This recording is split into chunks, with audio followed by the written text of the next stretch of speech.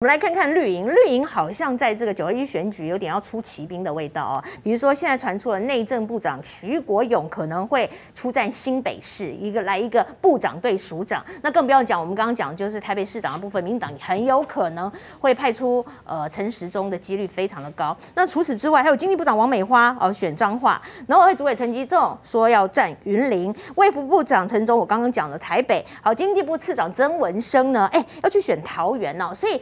他们要打的一个就是诶，出了一招，就是政务官组成了刺客兵团，所以委员怎么看？呃，我觉得他的这个政务官哈，其实我相信，呃，我们全民都可以看到，就是这些的民党执政团队他的执政的一个能力了啊。我们不管是刚刚点名的这个陈时中也好，或者是我们讲说曾文生曾次长，我记得这个呃呃，刚刚这个呃上任的时候呢，我就直接咨询过曾次长，他那个时候他连碳税是什么他都不知道，但是这一年呢，他有进步了，进步对。但是我我在提到，就是说，如果大家仔细的去检视这些的呃所谓的行政官员呢，或者是包括这个呃陈吉仲。呃，农委会的主委，大家看到的一个是他有真正的一个执政的能力吗？嗯，我们看到从他的民进党执政到目前为止，他的执政的成效是什么？他可能羞辱他的政敌很厉害，不管是这个促转也好，或者是党产也好，他其实把在野党打的这个稀里哗啦的。可是如果你仔细去检视他的执政能力，他做了什么东西？他什么事情都没有做。我们讲外交部长呢，到今天为止大概是史无前例，这个断交最多。的一个部长，然后我们再看看陈吉仲的这个部分，农委会的部分呢，一样，农产品的部分呢也是稀里哗啦的。嗯，那防疫呢，陈时中大就更不要讲。所以我在看到网络上面的新闻，它上面讲说，呃，陈时中到底会不会出现这个台北市呃市长的这候选人，其实还是取决于他的这个防疫的一个成效。可大家到目前为止，大家我相信大家都看的这个。很清楚，就是三加十一的破口，到目前为止，什么东西都还没有。Omicron 的东西一而再、再而三的，在过往的时候就校正回归，现在出来的 data 是真正的一个讯息，还是是将来又是要推给校正回归？我现在这个选民其实都看在眼里。好，县市长何其重要。如果说现在是由这些的所谓的刺客、行政官员的刺客去选县市长，如果我们从他的执政的成效上面来看的话，他够不够资格当委员？可是执政成效可能不够资格。对，但他们有执政的资源，对，没有错。这接下来就是我要提到的，就是说我们在立法院审预算的时候啊，大家都知道，呃，我刚在私下的时候，其实跟历史哥我们有交换一下这个意见哈，就是说，其实我是个人是非常反对预算的部分呢用统三解决。为什么呢？因为我们从去年看预算的部分呢，它是删了一点一八。所以去年删了一点一八呢，今年删了一点一九，删了多少钱？删了两百七十一亿，好像觉得说啊，好了不起，我已经删了两百七十亿。但其实行政团队不是傻瓜，他在编预算的时候他就知道你要删，所以呢，他就把数字调高，然后让你删，好像很有成效。那他觉得说，今天这个议题我为什么要提预算？它很有关系，就是回到刚刚前会提到的。他们很会选举，对他们很会打组织战，我觉得这个不得不佩服。民党一路以来，他的选举呢，只要他喊出这个呃 抗中保台的东西，只要芒果干，他就永远都是赢。更何况再加上的这些预算的挹注，我们看到其实里面有很多的项目。我们都知道，明年县市长的选举，我们在看去这个一百一十一年的预算的时候，我们已经看到里面有一些很奇怪的美告跑出来，比如说他的什么救难呃这个这个预备金的这个金额啊，居然跳了一个呃二三十亿跑出来，比以前跑出来多这么多钱。然后我们提出来就说，你这个钱是要用到哪里去？很明显的民众的。一个正当的一个怀疑，就是说你是不是把这个钱拿去做绑桩用？所以他能够发展他的这个组织战，然后再加上这个预算的这个益助，然后他就会钱也有，人也有，组织也。因为我们看到最近前一阵子不打严家打的这个很厉害吗？那大家就有提到说，为什么打严家打这么厉害呢？其实跟正南宫也是有关系的。所以。这些的东西零零总总的加起来，你看用了是谁的资源？今天的钱是他们这些的要选举人的钱吗？不是，是不是企业的钱？也不是哦。你原来你用的是民脂民膏，用老百姓的钱去洗老百姓的脑之外，你再用老百姓的钱，然后你去发展你的组织战，然后你把你的人明明是不适格的人，你把他插进去他这样的一个位置上面，这对台湾来讲是好还是不好？我相信大家都知道是不好。可是为什么每一次出来，就因为这些的金流也好，或者是这些的人力也好，这组织战一出来之后，出来最终的结果，其实真的都还是我们老百姓在承受。我觉得这个就是让我们呃很痛心的一点。那国民党呢，我要提到的一点就是说，我们。我觉得在地的历在地的这个意见很重要，就像历史工历史哥呢，他从高雄的这个角度来看，或者赖教授他从北部的角度来看，我觉得在地的意见非常重要，因为你在提人选的时候，你必须要考虑到这个人选出来，他能不能够为在地所接受。嗯，可是我要在这边同时呢，也讲到。你不得不否认，从历史整个台湾的这个行政的经验的这历史上面来看，你看到能够把事情做好的是谁？其实还是国民党的行政团队。所以你看到的就是说，这些的专业的人士呢，常常就会有我们古人的那种好像自命很清高，不愿意去沾惹这个政治，呃，对，不愿意去沾惹这些的什么政治啊，这些的俗事。所以你们喜欢我，我就出来帮你服务；你们如果要我，就是说去做一些有的没的。他就不愿意出来，所以我觉得国民党里面呢，其实人才济济啊。那如果能够配合他的专业，然后再为在地的人的接受的话，我觉得他还是有胜出的几率。那以高雄来讲的话，呃，高雄的部分呢，我们看到我刚补充了一点，你看到那个市议员的部分呢？其实很多都是蓝营的，对对不对？可是，所以你在讲说，哎，高雄的地方是不是老百姓对国民党完全失望？我觉得应该也不是，嗯啊。那更何况呢？我们看到就是说，你高雄的部分在民党执政的这么多年以来，他的现在他的他的问题一而再再而三的点出来已经产生了，即便在韩国瑜。短短的一段的时间之内，它的治它的这治理的这个成效其实是很好的。其实它那么短的一个时间，加上李四川那么短的时间，他就可以把高雄的这个这些的林林总总的疾病的这个积水的问题呢，他就能够已经做相当程度的一个改进。所以我要用这个例子来讲说。为了一个地方的市政的一个好坏，为了我们全民的一个未来的一个发展，为了台湾未来的发展，我们真的是需要选一个专业的人。当然，专业只有专业，如果不能够为在地人所接受的话，其实也是一样啊。他可能是一个很好的理想，可是他不见得能够达到他的目的。最好的呢，我觉得还是应该要大家坐下来。当然，党中央也是一样。我们今天要推出一个这个人，这个人他是有治理的能力，但与此同时，他也能够为在地人所接受的。我觉得这样。样子才能够解决，不是只有国民党的问题，它是解决我们台湾目前所面临的困境。好，这个历史高补充，我我补充一下，因为刚才看了大家就是很多我们中天好朋友的回应嘛，哈，在聊天室到底中到底就是说高雄到底是怎么一回事啊？我因为刚才时间有限，我就把把话给讲完了。为什么韩国瑜在高雄会赢？因为韩国瑜长期住在南中南部，对，他对的是那个口味，嗯，这个。说起来，我觉得这当然很不是我所追求的民主政治的哦。就是说，我们想追求的时候，应该是说，我们观察一个候选人他的特质，他提出的政见，他的想法，然后呢，我们去投票给他。应该选贤与能嘛？对，选贤与能的过程。但是在高雄地方呢，它是瓦钢剪的过程。其实全世界上的这个民主政治，真正会带来选票的，其实真的不是啊。我们这点都叫做什么？这叫做歪嘴鸡啦，很会挑啦，很会那个，很会唧唧。机机车车的那一种，这种人的票不多啦。我们这种就是这种属于像刚才郭委员说的这种比较知识分子。我不敢说我们真的是什么高级知识分子，但是就是你会去挑，你不会因为情感而左右的是少数。大部分都知道理性是好事，嗯，但是大部分人行动的宗旨是感性，嗯，然后以为感性是一种理性。其实我我们都只是在帮自己的行为合法化，只是说在中南部这样的情感会更浓厚。为什么？因为你在一个地方住久了。长期久了之后，你的情感会堆积。那个堆积的过程当中呢，这就是中南部它的这个投票率哦，其实有时候会比可能比都市区还要高一点。为什么？因为我投这个票好像在结一个情分一样，嗯，这跟结一个情缘一样。所以当时刚这韩国到高雄，其实高雄真的是积弊已深啊。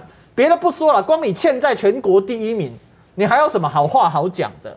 对不对？我们高雄市长陈其迈已经穷到就发函给公营企业，叫他们捐钱了，这真的不能听啊！哎，过往我们高雄是要追上台北市，甚至我们要超越台北市。我们高我讲一个，这样当然会被大家笑。高雄以前很光荣，为什么？我们在盖八十五大楼的时候，你台北还有什么高楼赢过我们？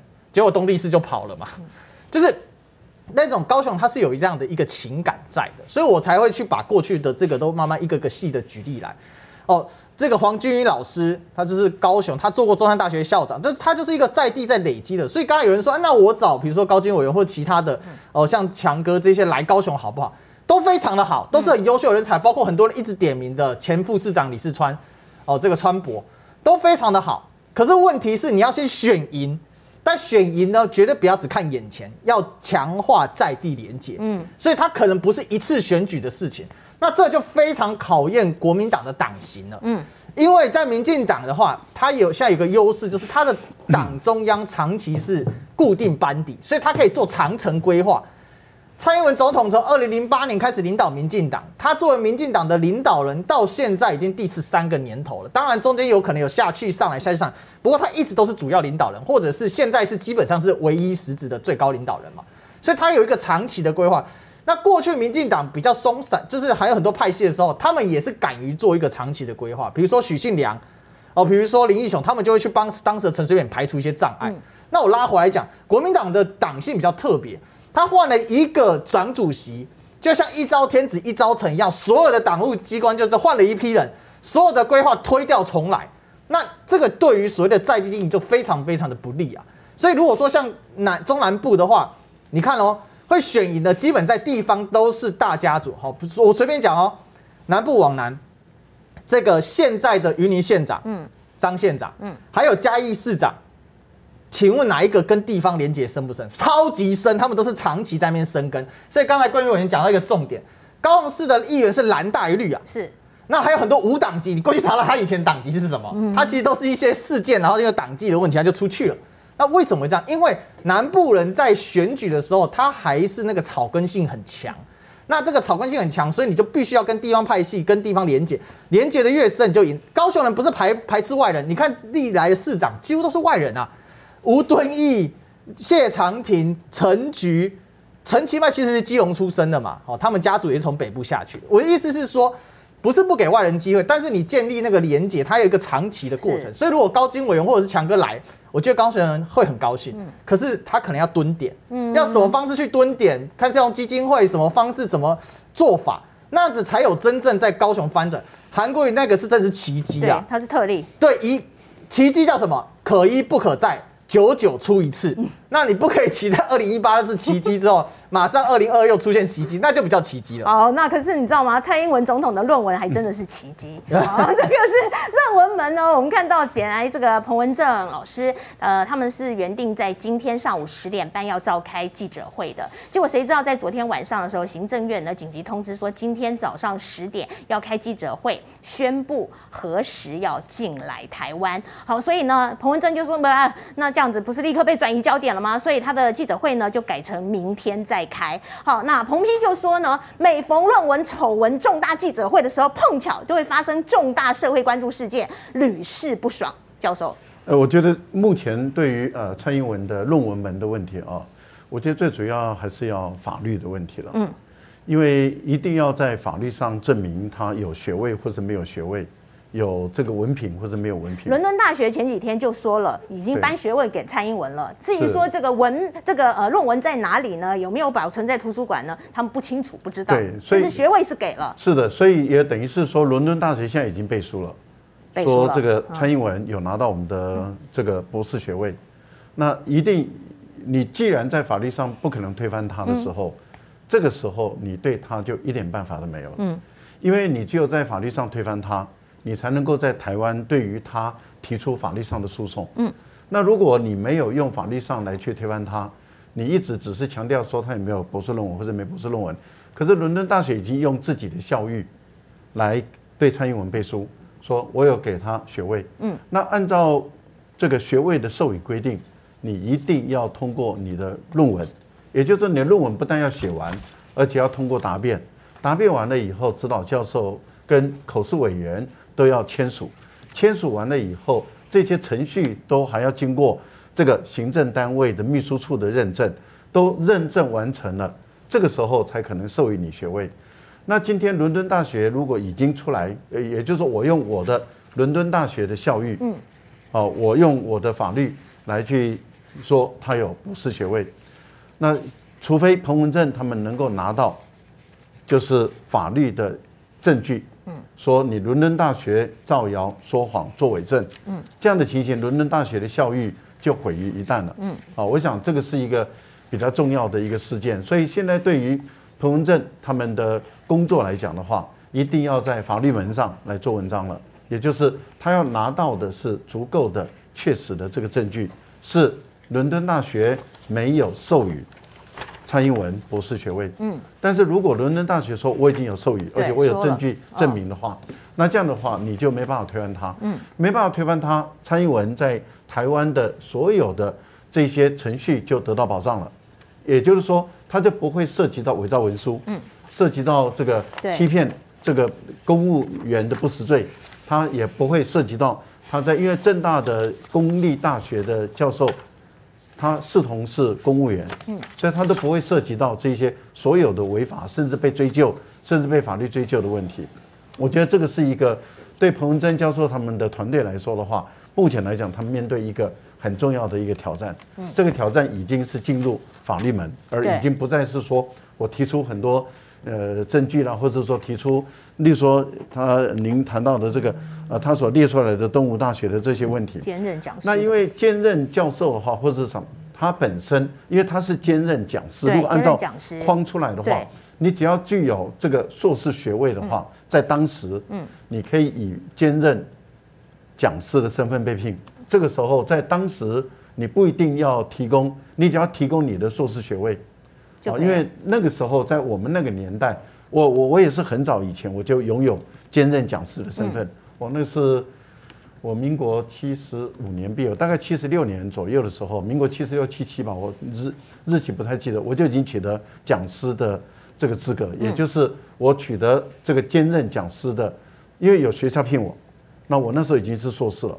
我就可以去教书，那学校也经过和这个整个程序送到教育部，教育部审查完了以后就颁发给我这个讲师证，所以这个部分里面是合法的，是没有问题的。我觉得目前对彭文正来说的话，他们一定要在提出法律上的证据来证明伦敦大学说我授予你博士学位，这个是假的。嗯，那如果是这样的话，伦敦大学跟彭文正就变成是诉讼的两方了。那蔡英文已经是这个第三人了，我觉得在在这个部分，对彭文珍教授来讲，他们一定是一个很严厉的啊考验了。好，那论文门进入到法律门，那当然要请教这个律师桂明委员了啊。可是因为刚刚特别教授提到的，就是呢，这是一份呃东吴大学当初给检方的一个资料，好，也就是呃他的争议、他的质疑点是在这里，就是在一九八三年，当时蔡英文呢是在东吴大学担任兼任讲师，好，但是呢，记不记得蔡英文自己有说，好，他们在一九八三年十月，好，那如果这个是彭文正在十月十六号。当天还是星期天，他是在伦敦考试，这是蔡英文之前讲的。那大家就想说，那十月在英国完成了这个博士论文的考试，呃，所以你是请假飞回英国了吗？好，可是后来一问之下又说不可考，因为年代久远，所以当时已经记不清楚了，到底有没有请假，是不是完全没有这相相关的记录了？所以这个东西你就是你怎么追追追，你觉得很可疑，但是你就就卡住了。对，呃，我觉得法律是这样子了哈，就是政治是一个议题，法律是另外一个议题。我们如果提到法律的部分来讲的话，当然它的结果呢是取决于事实，对，也就是说它的事实只要有变动的一个情况之下，它的结论就是不一样。嗯，那政治是另外一回事情，我们都知道政治人物的诚信，呃，事实上是非常重要，所以政治是一个议题，法律是另外一个议题。但法律呢，我们现在要评的时候，它有它的困难度，是因为我们不知道事实上面的真相是怎么样的真相。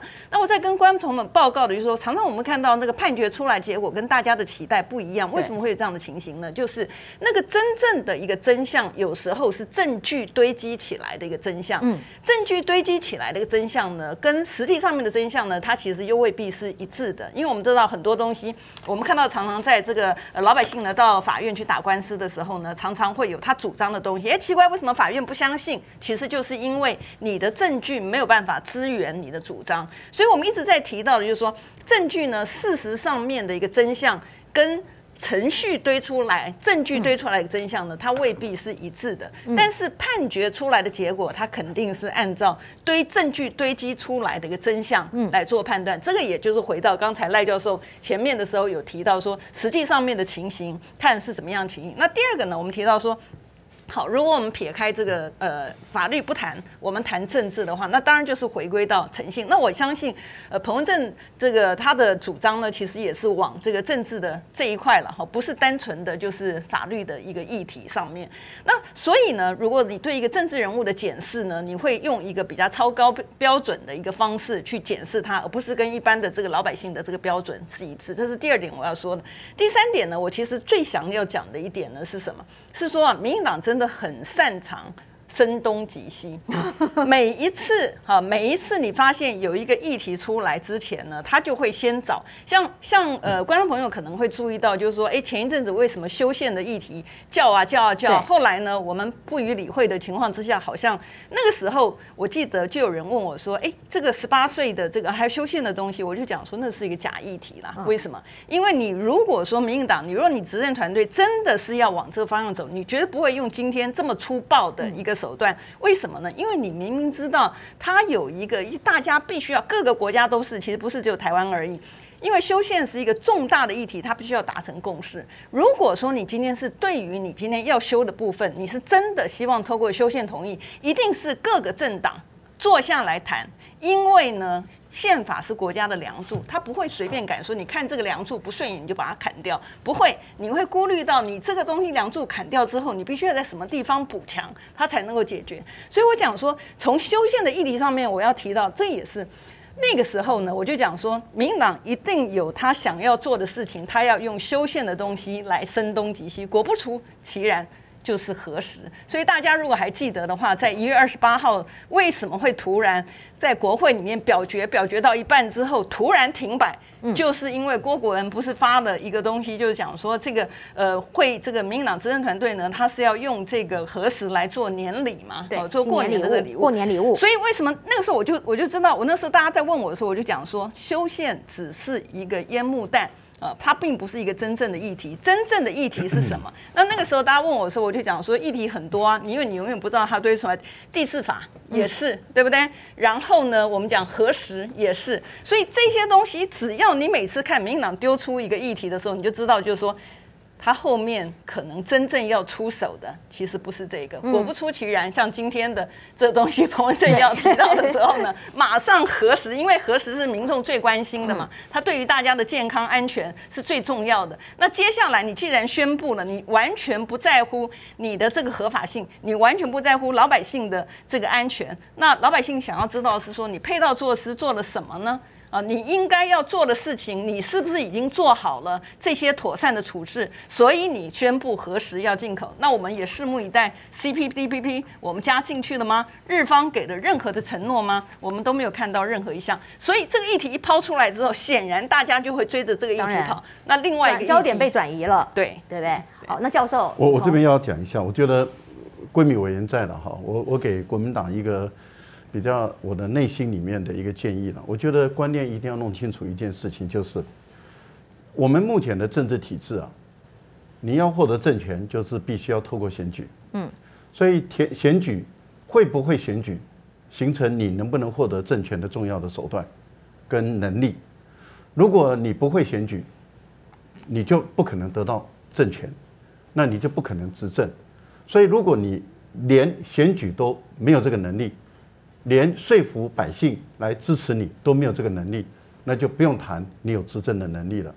所以我觉得国民党必须要认清楚一件事情，就是不要再说民进党很会选举，因为当你在说民进党很会选举的时候，就是在凸显自己很无能，连选举都不会，连选举都赢不了人家，连说服老百姓支持你的能力本事都没有，那就不要再讲了。我觉得这是第一个，我觉得国民党要深刻的认识到这个理念。第二个。客观的事实就是，民进党掌有所有的资源，嗯，不管企业给他的捐献、政党的资源，甚至国家的资源，他都掌握，这是客观的事实。客观的事实已经存在，就不要再去讨论了。为什么？因为在讨论、去埋怨、去发牢骚，无济于事。你的问题就在于，你的基本的国民党的所有的人，或是在野党的所有的人，从政的既既然想要从政，既然对政治有兴趣，就必须要体认一个事情，就是目前这个客观的事实就是他掌握的都在手中嘛，你不可能改变嘛。不可能改变，与其发牢骚，与其不断的说，倒不如去想，我怎么去解决它？嗯，我怎么去突破？那突破才是你要思考的问题，解决才是你要做的动作。我觉得国民党的人不要再去，不要再去发牢骚，不要再去说他们拥有所有的资源。你讲到口水流干了也没用，因为这个就是客观的事实，它不会改变。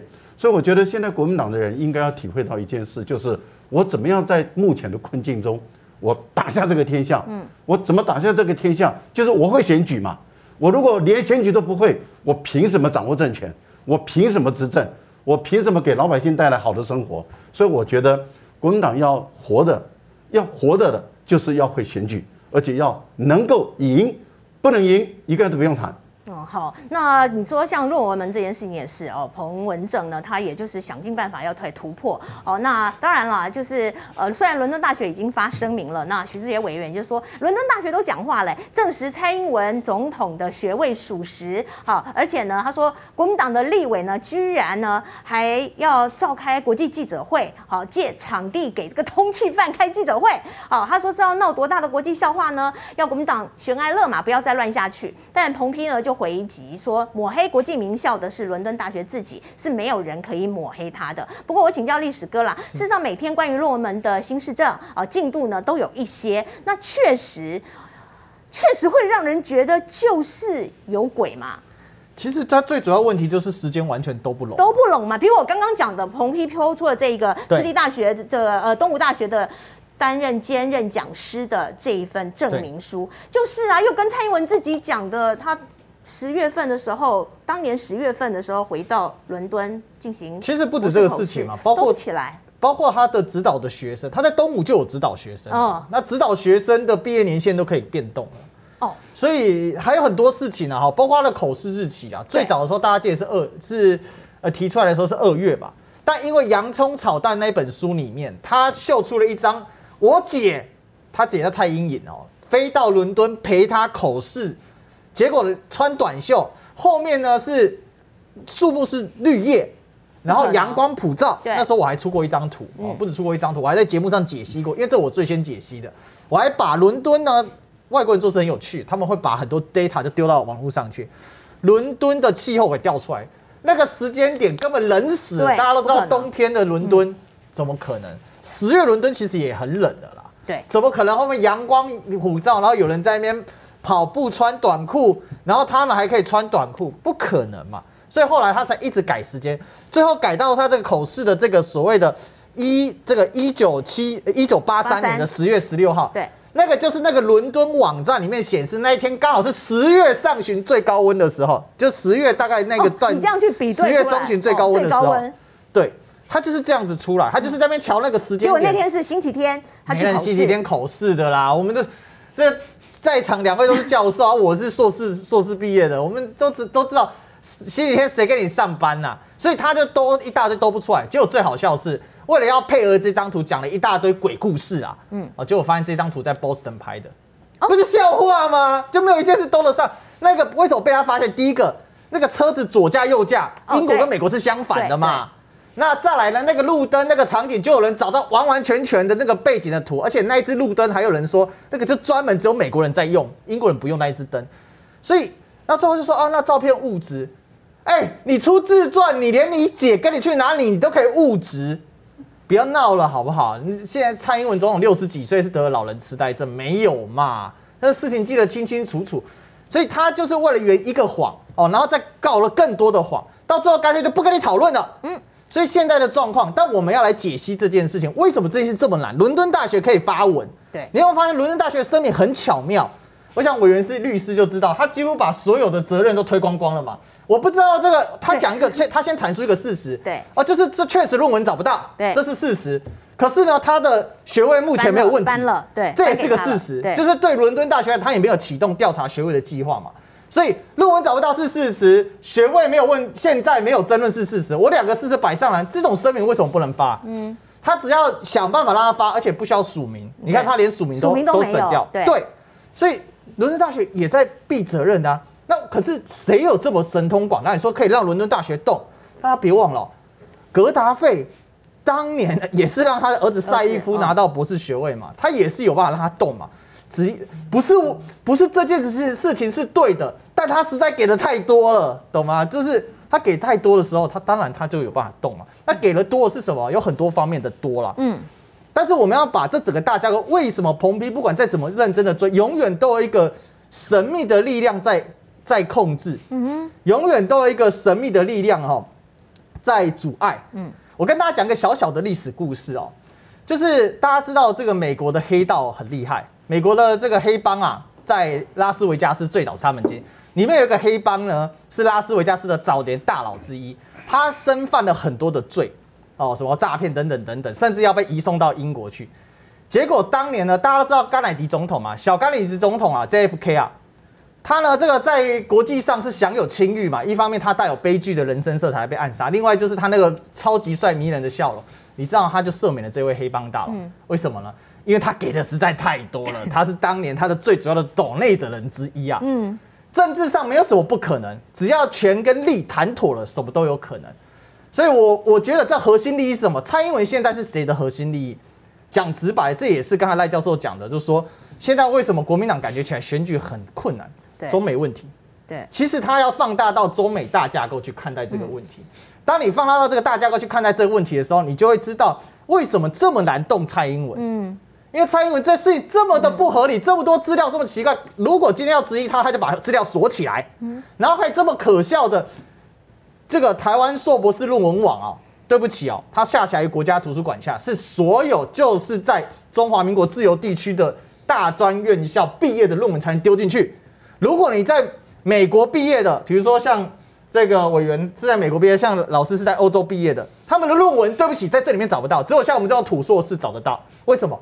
因为他就是规范是这样，蔡英文总统的论文何德何能把它丢进去，不是很奇怪吗？这常常让我想到这个清朝的时候，雍正夺嫡啊，常常被人家拿出来揶揄。雍正呢，他当时就有人跑出来就质疑他，质疑他呢，结果呢，这两就有两个人，这个两个不知好歹的家伙就每天质疑他，然后质疑他还到处宣讲，他就把这两个抓来，他没有把他们干掉，正常来讲皇帝就把他们砍头，嗯，没有，他把这两个抓来。写了一本《大义觉迷录》，你俩去全天下给我巡回，告诉大家我是得位正确的。结果这件事情等到他的儿子乾隆上台之后，第一件事情把这两个人抓来砍掉，把书全部收来烧掉。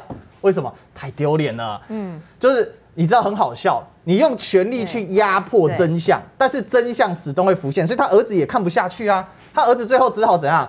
草草收尾，所以大一绝密录变成一个什么清朝的谜团？到底雍正得位正不正？大家觉得很神秘，对不对？哦，是这个样子。所以在美中对抗的真相之下呢，蔡总统他就是踩在这个，我觉得讲白就狐假虎威啦。嗯，这虎界三世啊，他有个大靠山嘛，所以这里面有很多神秘的力量，永远你很难打穿它。但是，所以我这边就必须要去佩服这个彭文正，这个彭批哦，竟然有办法。这么小的一个事情搞到被通缉，不就很好笑吗？极尽可能。那这也是蔡英文总统刚才这个闺蜜委员就是说，哎，怎么又出现一个重大事件啊？怎么样一个事件？为什么蔡总统？你有发现他是目前从民主投票以来，对于权力掌握最紧的总统？其实大家都看政治这么久，都可以观察到一个现象。就是蔡总统好像很害怕失去权力，嗯，非常害怕。正常来讲，总统到了第五年、第六年就开始慢慢在跛脚，他就会放了权，下面人怎么搞他的事，他要去追求他的历史定位，啊，或者去应付他的案子。陈水扁是去应付他的案子，马英九总统去对去追求他的历史定位，但蔡总统还在汲汲营营的玩权力，积极的铺排权力。跟大家报个小料，也不算报个小料了，哈，跟大家分享一个事情。南部现在这些传统的老绿，过去都是阿德的支持者。阿德是谁啊？就我们副总统赖清德。阿第二个了啊，现在呢慢慢转向阿灿的支持者了，慢慢转向郑文灿。郑文灿，郑文灿会让蔡英文安心。嗯。而赖清德上完蔡英文惶惶终日，因为他就有一个关键的东西掌握在手上。他现在可以做到这些事情，是因为他有这个位置。嗯。他有美国做靠山。可是等到他没这个位置，美国会帮他靠山吗？美国是很现实，他也知道他在美国待过嘛，他很知道美国人的玩法，有利用价值哥们一拍一哥俩好，对，没利用价值翻脸不认账。嗯，最有名的就是麦当劳的创始人麦当劳兄弟啊，他不是麦当劳的股东嘛？为什么？因为他被排挤出去了。那个大家如果有看过这个米这个米高基顿所主演的那一个 The Founder 嘛，哦，这麦当劳创始人那部电影就知道，美国人就是用商业手段在对付所有的事情。你有价值，我就跟你骂鸡骂，非常的好。当我有想办法把你排除，你没有价值的时候。那我可以做到非常极端，所以麦当劳的故事最后啊，那一对兄弟麦当劳兄弟被夺走店之后呢，他们很生气，在这个麦当劳的隔壁开了一间叫大麦克的店，结果你知道这个这个所谓的创麦当劳名义上这个创始人这个这个所谓的商人多狠心吗？再把那间店弄倒，再把大麦克拿来当他的标准餐点的名称，哇，杀人还要诛心呐，这就是美国人在玩的手段，不管是政治斗争或商业斗争，要了解这个美国人的特质哦。这样子你就可以去理解这到底是怎么回事。所以美国人也在玩台湾嘛？对，台湾对美国来说是有利用价值的嘛？我们又要花钱买军火了嘛？而且这是呢拜登任内第二次哎，好，他签署就是呃要售台爱国者飞弹工程勤务案啊，反正大约台币将近二十。八亿元，呃，我先，我我其实搞不太懂哎，我们想说这爱国者飞弹，那这这有什么？这啊，你爱国者飞弹不是之前的吗？不是过去就很久，那这时候为什么要卖这个给我们呢？好，然后这是呃拜登任内第二次呃签署了对台军售案，会有一种感觉是说是怎样？你没钱了就来跟台湾要，是不是？这个案子哈，当然国防部要出来讲清楚哦，因为我们当时买了这个整个爱国者二、爱国者三的这个飞弹导。我们叫做导弹防空系统哦，你本身是不是包括以后的它的升级，还有它的维修，还有它的工程？我觉得这个重点是要在于当时签合约的时候，我们是怎么签的，我们是怎么谈判的啊？